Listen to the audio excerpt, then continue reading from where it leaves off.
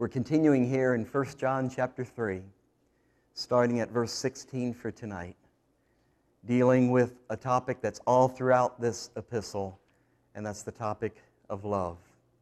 You know, God is love, and if we are His children, then He expects us to be epistles of love, children of love, saints of love. And love is our trademark. That is our branding, so to speak, in this world. And that is what sets us apart. Jesus said, you know, among the Gentiles, they love to rule and exercise authority over one another. And he said, it's not going to be so among you. When we come together, we come out of mutual submission, first to God and then to each other. Submission to his word, submission to the Holy Spirit. There's no man that's exalted above another. It's God and God alone in our midst, midst that we focus on. And so, in dealing with this love here in 1 John chapter 3, verse 16, I want to talk about something tonight that I know I need to think a lot more about. And I think we, as Christians, as salt and light in this world, need to think a lot more about. And it starts here in verse 16 where he says, Hereby perceive we the love of God. All right, so if you want to identify the love of God, if you want to look around and try to find the love of God, this is the identifier. This is how you locate the love of God. Because he did what? He laid down his life for us. And because he laid down his life for us, we ought to lay down our lives for one another. And it really is a, a consequence. It's, it should be something that flows out of our heart when you realize how much you have been forgiven, when you realize that you deserve hell, when you deserve the judgment of God, and you realize how much He has loved and forgiven and sought after you when you were rejecting Him. And when that love becomes real in your heart, in that moment of being just overwhelmed of how gracious and kind He is, it should melt you, and you want to do that for other people. That's what you want to extend to others. You want to love as He has loved you. John 15, verse 12, Jesus said it this way He said, This is my commandment, that you love one another as I have loved you. And next week, I think we're going to talk about that a little bit more because Romans states that all of the law is fulfilled in this one commandment to love one another, right? And so he goes on and he says there in Romans, you know, you have the laws of, you know, do not steal, do not kill, do not bear false witness, do not covet. And um, so as you're involved in relationship, you can be thinking to yourself, okay, I can't steal from this person, I can't kill this person, I can't slander against this person. You, you know, you can try to concentrate on all of the negatives, or you could just concentrate on the one positive, I'm going to love you. And that takes care of all of the negatives, doesn't it? I'm going to give my life to you. I'm going to serve you. I'm going to bless you instead of curse you. You love one another as I have loved you. This is my commandment. This is what Jesus wants you to do. And so this includes caring for other brothers and sisters. This includes evangelism, reaching the lost. This includes reaching out to the destitute and the helpless. But if you want to know God, what am I supposed to be doing in this world? What is my mission here on earth? This is his commandment that you what? That you love one another as I have loved you. So, are you a child of love? Does love really have its stamp upon your life? If a newspaper article was going to be written about you, if you were going to stand in a courtroom and a ruling was to be made about you and your character, would it be that you are a person of love? Does love just kind of ooze out from you? This is my commandment that you love one another as I have loved you. Greater love hath no man than this, that a man do, do what? He lays down his life for his friends. And this is the part that I think we need to talk about a little bit tonight biblical love, if you're going to truly love, there's always sacrifice in that love. In fact, if there's no sacrifice, there's no love at all. I put there in your notes, it could, in fact, be flattery and manipulation. Some people, you know, sometimes they will act all nice to get on your good side, to play the politics game, social engineering, you know, and they'll flatter you, or, but it's all in an attempt to manipulate you, to get you to do what they want you to do. There's, there's a hook behind, behind the uh, compliment. And uh, that's not what we're talking about. We're talking about an action that we do for others that really causes us to sacrifice something. And I put there in your notes, you know, sometimes sacrifice, we think of sacrifice and we think of the soldier dying on the battlefield, right? Or someone diving in front of a racing car to save someone's life, or, and it, it does, it includes all of that for sure. But that doesn't make us exempt in the day to day when we don't have, you know, great events like that happening all the time. What, what do you do in the mundane? And I put there, uh, there in the notes, from day to day, you and I are called upon to make sacrifices in our time, sacrifices in our schedule, our energy, our convenience, our money, our personal preferences. You know, I, I titled this tonight, Whom Did You Love Today? Let's say it this way Whom did you sacrifice for today? And all of you moms can just kind of be excluded because we know who you sacrificed for. You give your lives for your family, and that's great. So for you, sacrifice is kind of a built in job, isn't it? But for uh, some of the rest of us, this is something we've got to think about. You know, the whole thing about loving is when you walk away from loving that person, you have given away something. You, you walk away lighter. You now don't have what you had five minutes ago. You expended energy. You may have given them money. You certainly gave them your time that you'll never get back. You gave them your support. You listened to them. You gave them your full attention. You gave them some counsel. You gave them, you know, a testimony of what the Lord has done for you. You've sacrificed. You've given something to them. And those things are very real and very meaningful to God. God watches over your every action and all of your words and all of your relationships, and He takes note. And believe me, there's a list of the sacrifices you have made for others.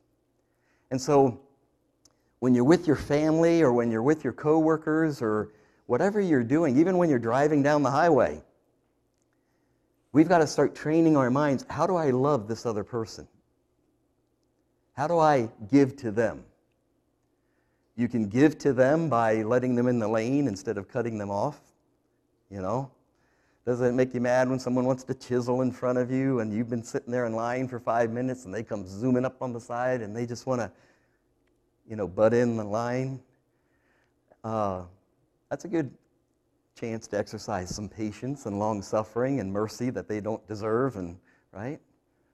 Lots of different ways that we can give. And instead of just going through a day thinking about ourselves and me and how does this affect me? And I'm not happy now and I'd rather be doing this. And instead of all being so self absorbed, every time you come across another human being, that's an opportunity for you to think how can I love them? How can I give to them? How can I walk away with something that I didn't have five minutes ago because I gave it to this person? That's what we're talking about. And then the, you know, the big three that I always kind of harp on if you want to know really where your heart is and what you believe in life, just examine your time, your energy, and your money. And those three things will tell you every time where your heart is. And if you're really willing to sacrifice and give to other people. And sometimes we're giving time that we don't have, and sometimes we're giving energy that we don't have, and sometimes we're giving money that we really don't have to give, but we're going to give it anyway because it's a sacrifice and that mode of living sacrificially for others is where God wants to take us. I also put in your notes, just so we understand, there is a balance to this, isn't there? You can't just keep giving, giving, giving all the time. There's times when you have physical sickness or fatigue.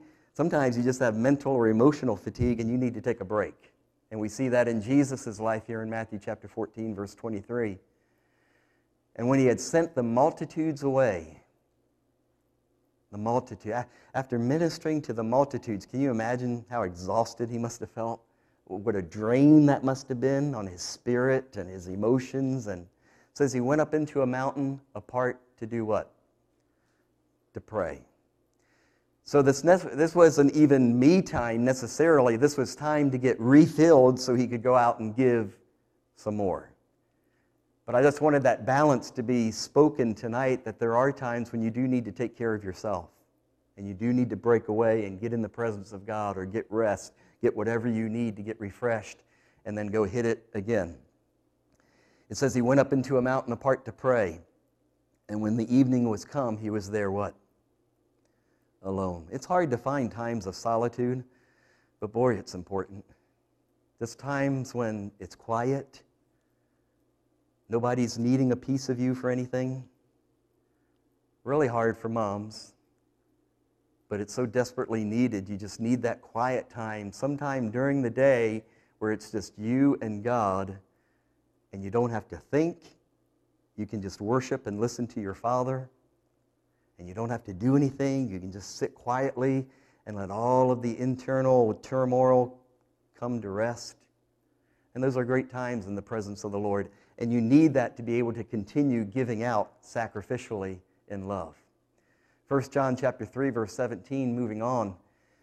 But whoso has this world's good and seeth his brother have need and shutteth up his bowels of compassion from him. How dwelleth the love of God in him? See, love is tangible. Love is not a Hallmark card. Love is not a feeling or an emotion. Love is not sweet words. Love, there's action. It's that goodness in action, that act of kindness where you're giving. My little children, let us not love in word, and I think it's understood there that what he's saying is let us not love in word only. People do need to hear you say, I love you. They need to be, they need that verbal affirmation, confirmation of your love. So he's saying, let us not love in word only, neither in tongue only, as a hypocrite. But there's got to be substance behind the words. Let us love in deed and in truth. So as you look back over today, do you have deeds today? Things that you can look and say, you know, I did that for my colleague, I did that for my spouse, I did that for my family, I did that for that stranger that I don't know. I, I gave of myself today. I took of my time, my energy, and I sacrificed for someone else. And it really helps you, you know. There's nothing more deadly than just that self absorbed mindset where all you're thinking about is yourself. I put there faith and works are inseparable. You know, sometimes when we're talking about salvation, we say that you can't be saved by works, but you can't be saved without works either. And that's kind of a mind bender. But really, it comes down to this truth faith and works are inseparable. You will do what you believe. And if you're not doing it, it's because you really don't believe it. You know? If we really believed that people who are not saved will someday die and be tormented for all of eternity in a devil's hell, if we really believed that, then we would be more serious about sharing Jesus with people that were lost. But when we're afraid or hold back or don't do it, how much do we really believe it? I mean, if, if you were in a building and it caught on fire, would you leave, not warning anybody, thinking, oh, they'll just mock me, make fun of me, they won't really believe it. Or maybe, maybe it's not a real fire, maybe it's just an imaginary fire. You know, it, it's ludicrous. If you really believe it, you're going to do it, right? Faith and works are inseparable. Love is not measured by an emotion or what you say, love is measured by what you no longer have. I don't have that 10 minutes, I don't have that hour, I don't have that $50. I don't have that energy that I just gave away. So that's how love is measured. What did you give away today? What did you do for someone else? James chapter 2 verse 15. If a brother or sister be naked or destitute of daily food, and one of you say unto them, Depart in peace, be warmed and filled, notwithstanding you give them not those things which are needful to the body, what does it profit? Was that really love? Even so, faith, if it hath not works, is what? Is dead, being alone. And if love does not have actions of kindness, then it's not really love. If there's not sacrifice in the giving, not big life altering sacrifices. We're talking about your time, your energy, your money, the simple things, the mundane, the day to day things. We've got to know how to give. And we got to know how to give to our family, to our friends, colleagues, strangers alike. 1 John chapter 4 verse 9. This is the next chapter over in 1 John that we're studying, but this is all throughout the book. In this was manifested the love of God, because that God did what? He sent his son. So how do we know that God loves? Because there was action, there was a deed, there was something that confirmed the love. He sent, he did without, he gave up his son. Herein is love, not that we loved God, but that He loved us, and He did what? He sent His Son. So, what action do you have? What fruit do you have that you are a lover? Beloved, if God so loved us, we ought also to love one another. Now, going back to 1 John chapter 3, very important principle here as he goes on, verse 19. And hereby we shall know that we are of the truth and shall assure our hearts before him. 2 Corinthians chapter 13 verse 5 says this, examine yourselves whether you be in the faith, prove your own selves.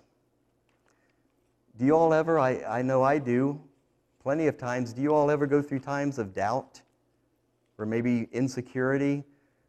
Gee, I wonder if I'm even right with God. I wonder if I'm doing what I'm supposed to do. I wonder if I'm even saved or you know, how do you know that you are of the truth? How is it that you can assure your heart before Him? What will assure your heart? How can you examine yourself whether you be in the faith? How can you prove your own self? Well, hereby we know that we are of the truth. Hereby what? Hereby is a continuation from verse 18. So, what, what's verse 16, 17, 18 talking about? Loving one another, loving one another not just in word, but in deed and in truth. So, how do you know that we are of the truth? When you're going through those moments of doubt or insecurity and you think, I wonder if God's even alive in me. I wonder if I'm growing spiritually. I wonder if I'm right with God. If you can think back over your day and think how your heart just went out to that homeless person and you gave them something to eat for lunch, or your heart just went out to a sister or brother in the Lord that's going through this trial and, and you prayed with them and gave them a scripture and, and your heart went out to your, to your own child as you had to discipline them and love them and share with them how much you love them. And if you can go back through the day and think of moments where you had to give sacrificially your time, your energy, your attention, your money, maybe, that's how you assure your heart because a person does not love without the Spirit of God living in them. So if you have fruit, if you have events like that during the day that you can look back on and remember when your heart was touched and when you were moved with compassion and, and you did it even though you didn't feel like it, and you did it even though you didn't have time, and you did it even though you were dog tired, but you did it for the good of that other person, then you can assure your heart that was God living in me. That was God working in me. That, that was not the action of a selfish person. So he's saying here in verse 19, this is a good thing. This is how you can have confidence that you're right with God and God is living and moving in you. That's how you can examine yourself. And here in Luke chapter 10, verse 25, I want to go through this quickly because it's lengthy, but you all know the story. Behold, a certain lawyer stood up and tempted him, saying, Master, what shall I do to in- inherit eternal life? This is a big question. And again, this goes back to 1 John 3 19. How can we assure our hearts before Him? How do we know that we're saved? How can we have this eternal life? And he said, What's written in the law? What do you read when you read it? And he said, Thou shalt love the Lord thy God with all thy heart, and with all thy soul, and with all thy strength, and with all thy mind. Now, doesn't that sound, that sounds really high and religious and so philosophical and right? But how do you do that? What does it mean to love God with all my heart, with all my soul? How do I do that? Well, he's going to go on and he says, and love thy neighbor as thyself. So your love when you give to someone else in a tangible way, that is you loving God. That is your heart responding to how God has loved you, and now you're passing on what you've been freely given. To love your neighbor as thyself. And he said unto him, Thou hast answered right. This do, and thou shalt have that eternal life. This becomes very important, as we'll see in a few minutes, on Judgment Day. But he, willing to justify himself, said unto Jesus, Well, who is my neighbor? Human nature always looks for the loophole, doesn't it? This isn't really going to cost me something, is it? Isn't there a way I can get out of this? Isn't there some escape clause that, am I really going to be held responsible for this? Yes, you are. And you and I are going to be responsible for how we treat the people around us. And Jesus answering said, A certain man went down from Jerusalem to Jericho and fell among thieves, which stripped him of his raiment, wounded him, departed, leaving him half dead. And by chance there came down a certain priest that way, and when he saw it, he passed by on the other side. Maybe he was going to the temple. Maybe he was going to prayers. Maybe he was just too religious to help. And likewise, a Levite, when he was at the place, came and looked on him and passed by on the other side. Now, see, a, a priest and a Levite, I, I don't think Jesus chose those two by chance, do you? These were people that were pillars in the community. They were looked up to, they were moral, they were religious, they, they, they took the moral high ground, they were the religious standard and model for everyone. And here they don't even have compassion on someone. And Jesus is trying to say it doesn't matter how religious you are. Do you want eternal life? Do you want to know that you're right with God? Do you want to know that God is living inside of you? There's one way to find out. How do you treat those around you? Is your life filled with acts of kindness? Are you willing to take of yourself and give to someone else? Then a certain Samaritan and you know this was ticking off the Jews, right? I mean, Samaritans were dogs as far as the Jews were concerned. Mixed breed, low lifes. Uh, they wouldn't even look at a Samaritan if they passed them on the road. But a certain Samaritan, so Jesus chose someone who the Jews hated he just used a priest and a Levite as an example, and they failed the test. You know, the righteous, the religious. And then he uses what in their eyes was nothing but a dog. And when this dog saw him, he had what? He had compassion on him.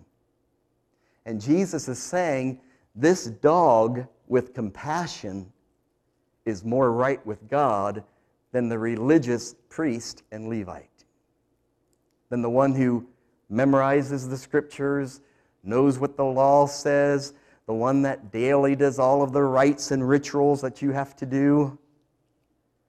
But he said it's not them that are right with God, it's the Samaritan dog who had what? Who had compassion, who had love.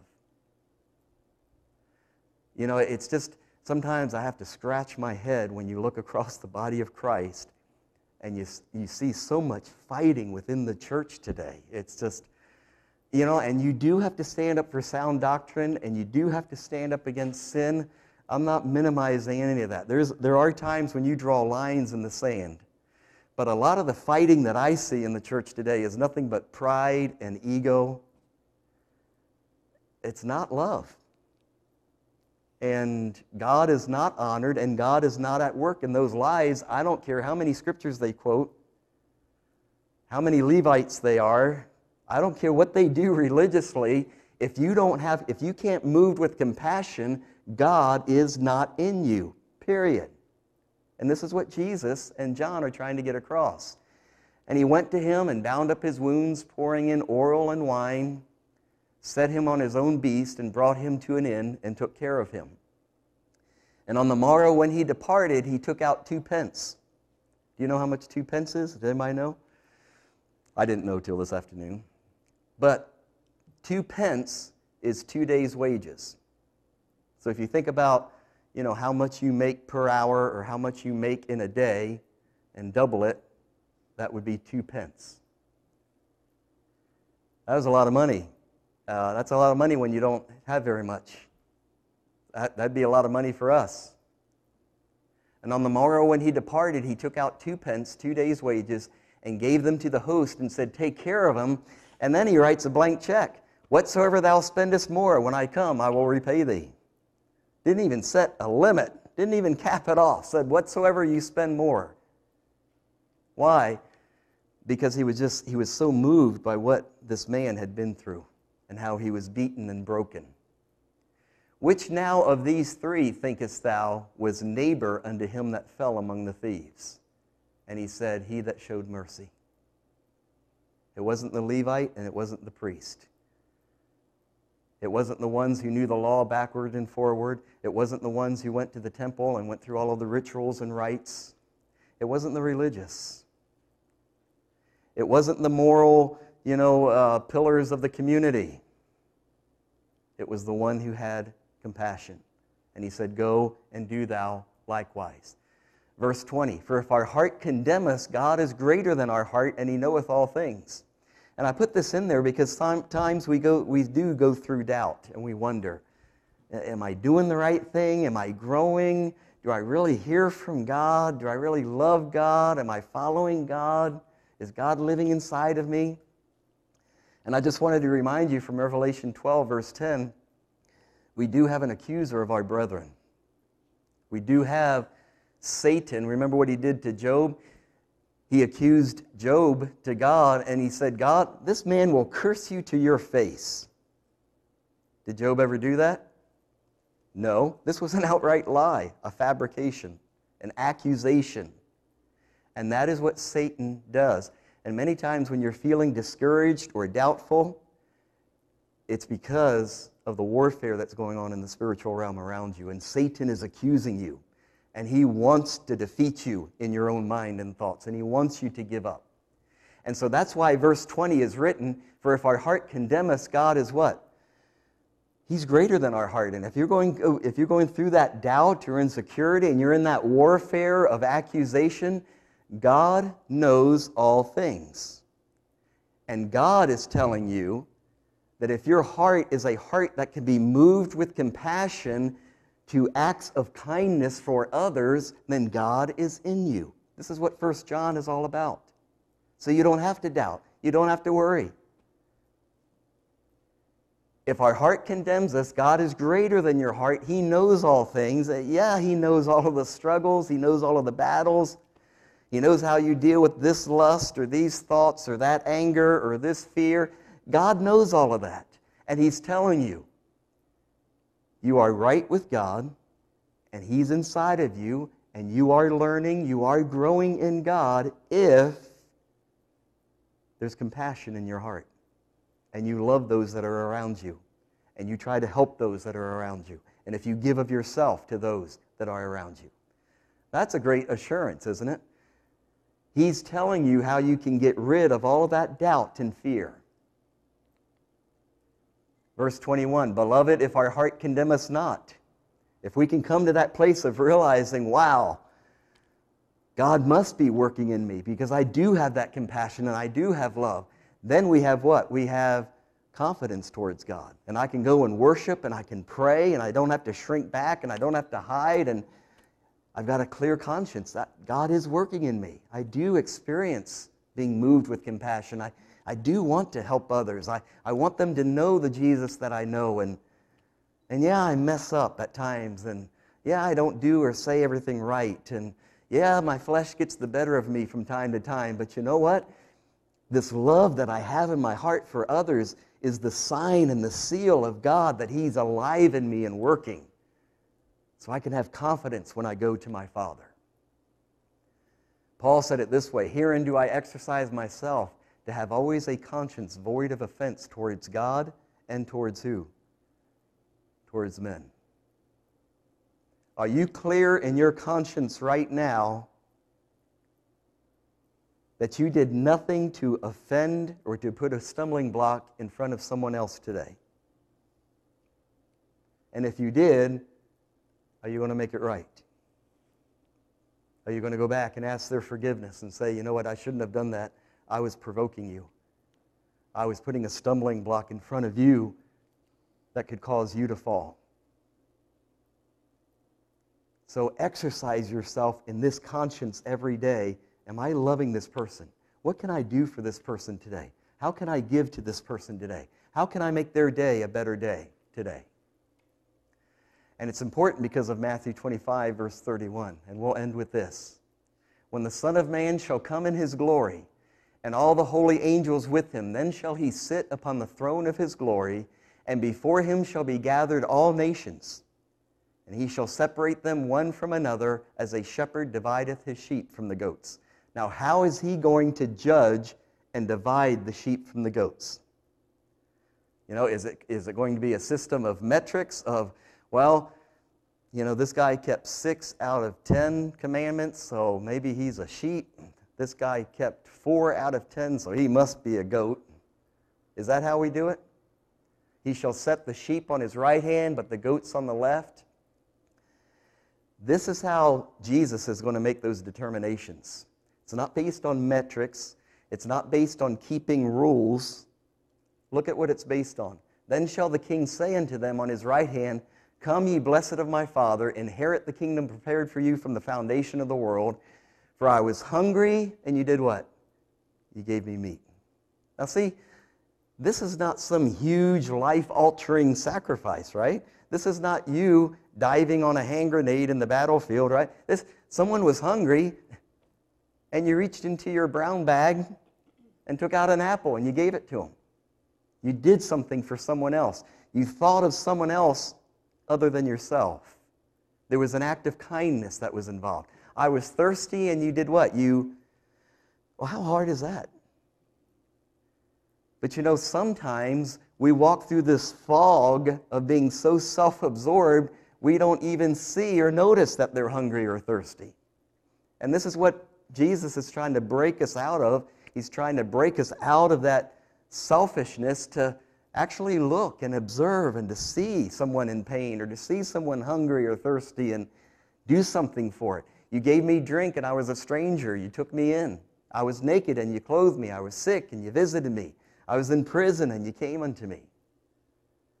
You know, for those of you that have visited Ruth, and those of you who haven't, no problem. I'm not saying anything about that. It's uh, this last journey that she had down in Arlington. I never made it down there either, so I understand.